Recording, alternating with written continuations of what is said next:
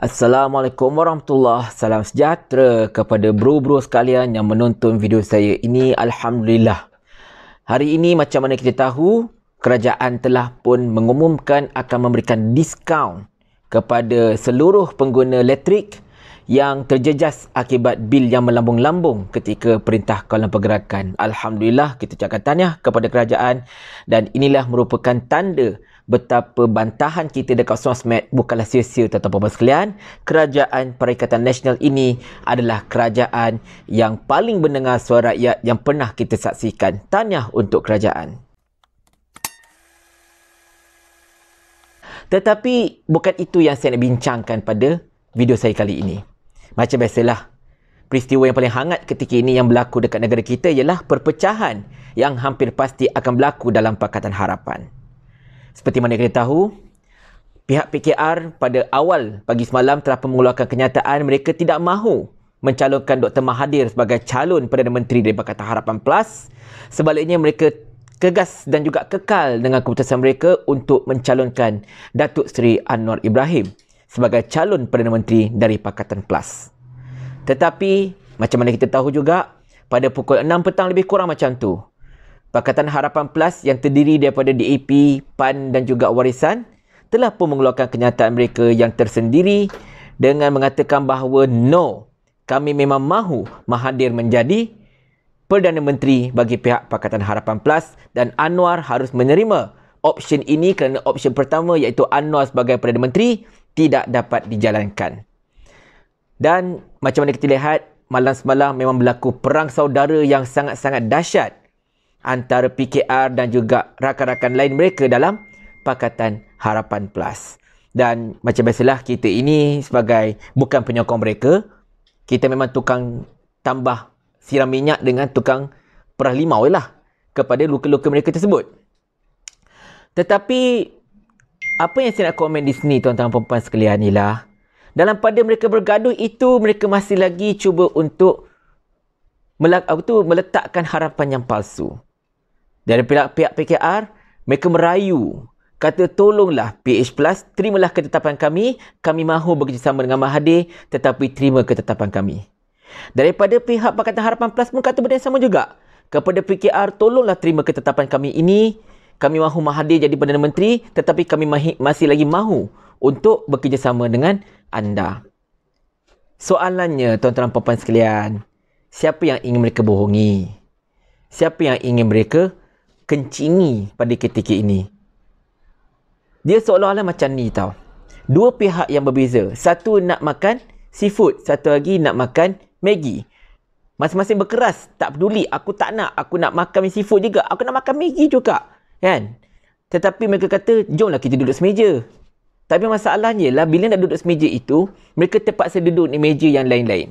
Ataupun di kedai yang lain-lain. Minta maaf. Jadi siapa yang akan mengalah sebenarnya? Terus terang cakap, video ini sebenarnya saya ingin meluahkan rasa menyampah rakyat kepada anda semua. Sejak PKP ini dijalankan, anda dah sibuk dengan calon Perdana Menteri. Mula-mula anda sibuk untuk menukar kerajaan. Anda sibuk untuk mengadakan undi tak percaya pada ketika negara sedang berhadapan dengan wabak COVID-19 yang sedang menggila. Anda terus sibuk untuk mempersoalkan apa itu uh, majoriti yang Pakatan uh, Perikatan Nasional dapat. Anda sibuk mempertikaikan budi bicara yang di-Pertuan Agong sehingga terpaksa ditegur secara halus oleh yang di-Pertuan Agong ketika sidang parlimen 18 Mei tahun 2020. Tetapi anda tidak peduli. Agong dah kata, jangan heret rakyat ini dalam kancah politik yang tidak berkesudahan. Tetapi anda tak peduli, anda mahu terus heret rakyat ke dalam kancah politik yang tidak berkesudahan ini. Tetapi benda itu semakin melarat hingga orang kata apa menyaksikan pertikaian siapakah calon Perdana Menteri. Rakyat dah muak bang. Rakyat muak gila. Di saat rakyat sedang bergelut untuk cuba hidup seperti biasa selepas dilanggar oleh COVID-19 yang mengakibatkan kejatuhan ekonomi seluruh dunia. Di saat rakyat sedang berkira-kira untuk mencari mata pencarian lain kerana ramai antara mereka yang terpaksa hilang pekerjaan kerana diberhentikan ataupun syarikat yang mereka naungi selama ini bungkus akibat apa tu kemelut ekonomi berkaitan dengan COVID-19 ketika rakyat sedang bergelut untuk cuba untuk kembali bernafas anda tidak pernah mempedulikan mereka. Sebaliknya anda hanya sibuk dengan politiking yang tak berkesudahan anda sibuk siapakah yang bakal mengutip laba yang paling besar dalam kerajaan selaku Perdana Menteri. Anda bergaduh, anda berperang, anda bermesyuarat, anda melakukan pertemuan, anda melakukan segala apa. Bukanlah untuk rakyat tetapi semata-mata kerana jawatan calon Perdana Menteri. Tak pernah dibuat oleh manusia maupun jin. Tuan-tuan dan puan-puan sekalian, sepasukan pembangkang bergaduh untuk merebut jawatan calon Perdana Menteri. Kalau pihak kerajaan yang dah menang berebut jawatan Perdana Menteri, kita boleh terima. Tetapi ini korang belum tentu boleh menang pilihan raya. Belum tentu korang boleh masuk pilihan raya pun.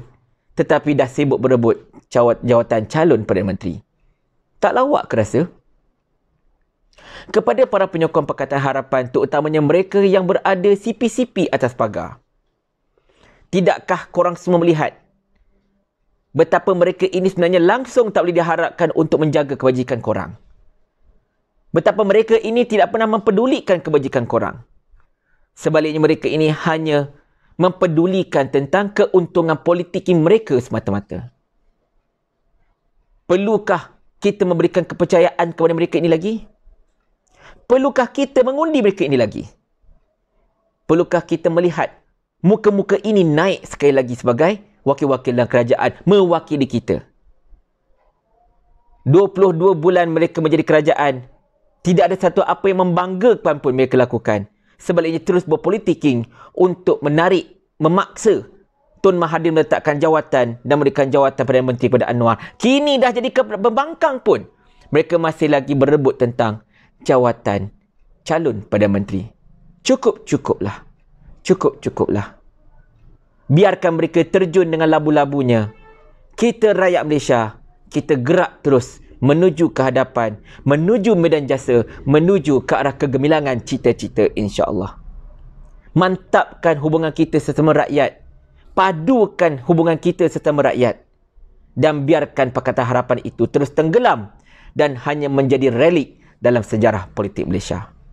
Terima kasih kerana menonton video saya ini. Minta maaf atas segala kesilapan jemput like dan juga subscribe channel YouTube saya dan juga FB page saya ini. Kita jumpa lagi dalam video lain yang akan datang. Assalamualaikum warahmatullahi dan jumpa lagi.